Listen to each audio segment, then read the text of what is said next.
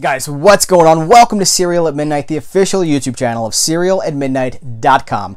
My name is Heath, and I'm glad you're here because in this video, we're going to be talking about this. This is a new release, The Hitchhiker's Guide to the Galaxy, the complete 1981 BBC TV series, uh, the adaptation for television.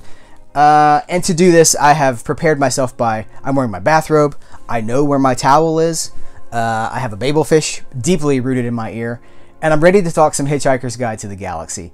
Um, I first came to it in the mid 90s. I was in high school and I, I got this. This is the, uh, the Hitchhiker's Guide trilogy, uh, which is five books, because that's Douglas Adams, the author, being just being cheeky.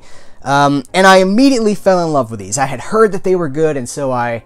Uh, I knew they were British. I knew that I loved Doctor Who. I knew, you know, it was probably for me. And then I read them and I immediately loved them. They they have commentary. They have things to these books have things to say. Hitchhiker's Guide to the Galaxy, the first uh, book is my favorite. It seems to have the most um, for me. It has the most weight. It has the most.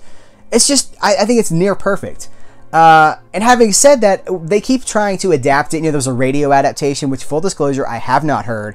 I need to. There's a whole series of radio adaptations. There's also, of course, the television adaptation. And then they even try to feature film, a major Hollywood feature film, which I think has its heart in the right place. And when it came out, I was a champion of this movie. But revisiting it, and especially comparing it to this, uh, this gets some important things wrong. It gets some important things right, too. But uh, there's some things that are just some key elements that I feel like just aren't there. They feel very Hollywood. They feel like studio notes. Listen, we're not here to talk about that. We're here to talk about the BBC television series.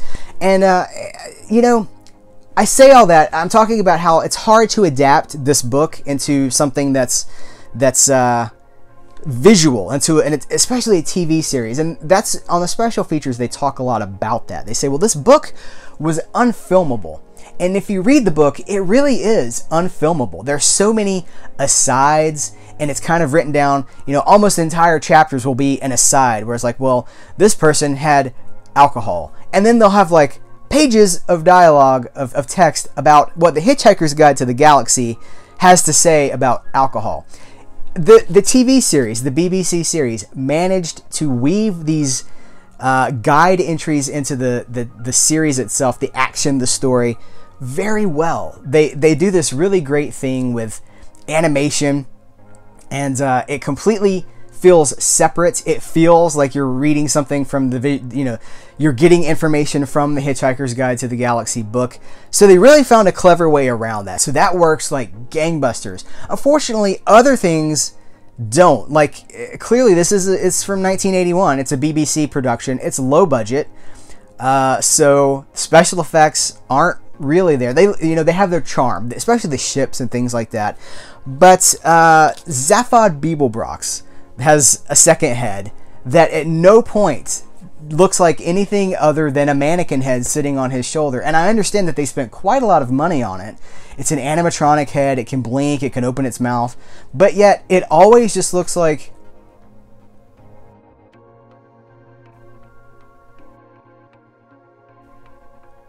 like it always just kind of sits there uh, and on the special features, again, even the actor that had to wear the second head says, I don't think it ever really worked.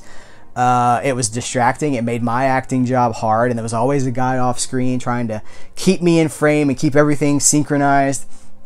So that doesn't necessarily work. Uh, and again, the special effects, you're talking about an intergalactic space science fiction story.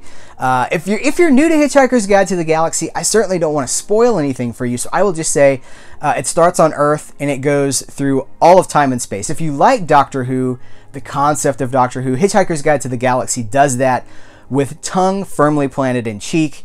It doesn't take itself seriously, uh, and it's almost a commentary on uh, humanity, what we do, what what drives us. It's very actually very intelligent. Like Monty Python could blend high art with low humor in a way that nobody else seemed to be able to. It's kind of kind of like this. These are very heady, scientifically interesting ideas mixed with very British humor, occasionally low humor. Uh, there's a paranoid android, which is where Radiohead got the name of that song from. Marvin, the paranoid android. Uh, there's it, so it's it's interesting in that how much it strives to achieve for. And I think maybe that's my ultimate um, compliment to this is that they really went all out because it doesn't seem like it should have been possible. But they made six episodes. And in these six episodes, it comes as close as you can in a visual format to capturing the essence of the book, the tone of the book. As a series, this really may be the best visual way to experience Hitchhiker's Guide to the Galaxy. If you haven't read it, I would say absolutely read it. Uh, it was conceived as a book, it is best as a book. But this comes pretty close to capturing what makes the book special. Uh, and this is the ultimate package too. We got we got to talk about some of these things. This is a, a three disc edition. Uh, it comes with a bonus 24 page booklet. I'll just open it up here and we can kind of talk about it a little a little bit. So here we have disc one, disc two, disc three, and this book is really fantastic because it gives uh, a production history of, of the people involved with the series. It gives uh, background information on how it was how it was actually ideal like how they did it the special effects people all that stuff they have little asides about such as like the pan galactic gargle blaster which if you've read the book or seen the show you know what i'm talking about. The animation they do a breakdown of the animation. This is a really fantastic book and then there's what i think is very valuable is uh, there's a timeline. Uh, this is not going to show up because it's such tiny tiny print but there's a timeline with like 100 entries beginning in 1978 and ending, ending in 2020, uh, which is the 42nd anniversary of Hitchhiker's Guide to the Galaxy. And 42 being a very important number for the Hitchhiker's Guide to the Galaxy.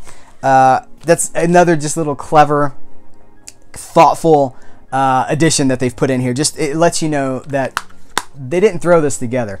The extras on this thing are literally exhaustive and exhausting. If you ever wanted to see any behind the scenes footage from this, it's in here. Deleted scenes, flubbed takes, gag reels, bloopers. Honestly, more than you need uh, for the completionist, the completest whatever you want to call it.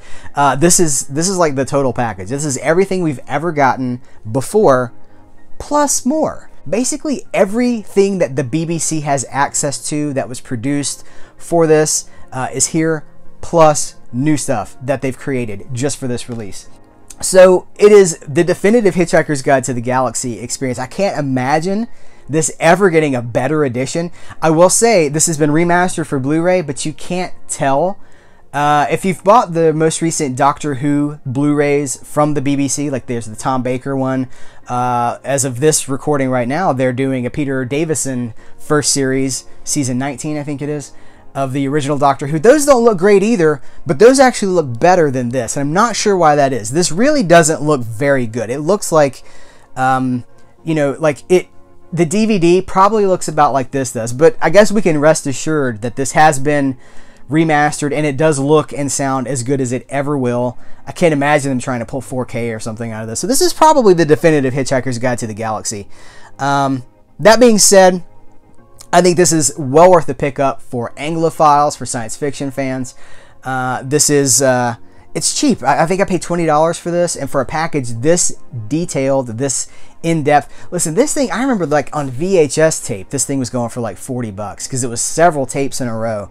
Uh, so this is, this is like the best uh, package that's ever been put together for this at the best price. So if that sort of thing is important to you, I would highly recommend you check it out. I will also say, um, if you can't tell from this conversation, 80s, early 80s BBC science fiction, we're talking about like model spaceships, very low special effects. So if that's not necessarily your thing, um, there's a lot you're going to have to overlook. This is very much of its time.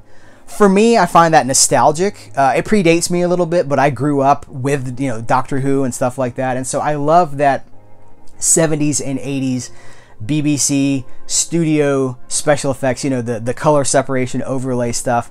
But if it's not your cup of tea, I don't know that this is going to win you over. I almost think that the Hitchhiker's Guide, uh, this version in particular, is very much an acquired taste. It might be challenging to a new viewer. So if you're thinking about rolling the dice on and you're not familiar with this era of British science fiction, um, maybe rent it or something, check it out at a friend's house or something like that before you drop your hard earned money on it because it is just so it's so it is what it is it's so unique it's so of its time um, and so if you do struggle with older doctor who you might struggle with this too that being said Uh, Hitchhiker's Guide is a classic. I love it.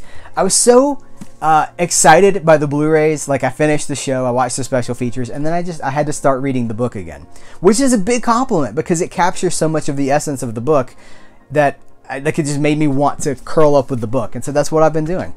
Um, guys, that's it for Hitchhikers. I want to thank you. I will say, we have blown past 6,000 subscribers in the last couple of days. And uh, the anniversary of this channel, as whenever you're watching this, February of 2019 is the two-year anniversary of Cereal at Midnight, the YouTube channel. And I really want to be at 10,000 subscribers by February. When we hit two years, I want to be at 10,000 subscribers, there's going to be a two year anniversary birthday celebration. There will be giveaways, prizes. This is a big deal. So I need you. I want you. I want you to be a part of Cereal at Midnight. Thumbs up these videos, subscribe, tell people about them, tell your friends about them. Uh, if you're part of a community, share them around. Cereal at Midnight is growing, and I want us all to be growing together. I want us all on board this ship because we are taking off, you guys. I'm telling you, two years, it's going to be here before you know it. And there are so many cool, exciting things lined up. I do appreciate you guys. I, I, I really do. I appreciate your time for watching to the end of this video to get these announcements.